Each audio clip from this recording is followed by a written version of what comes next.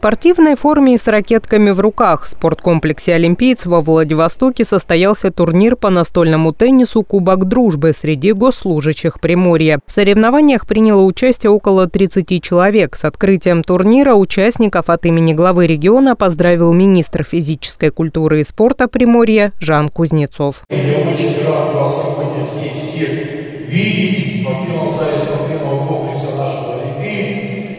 Конечно же, от имени нашего губернатора Олега Николаевича тебя лично поздравить с открытием первого соревнования по настольному теннису Кубок дружбы среди гражданских государственных служащих правительства Приморского края. Я уверен в том, что мы только начинаем с вами эти соревнования, уверен, станут традиционными, в дальнейшем мы их будем проводить. Хочу от себя лично вас поблагодарить за то.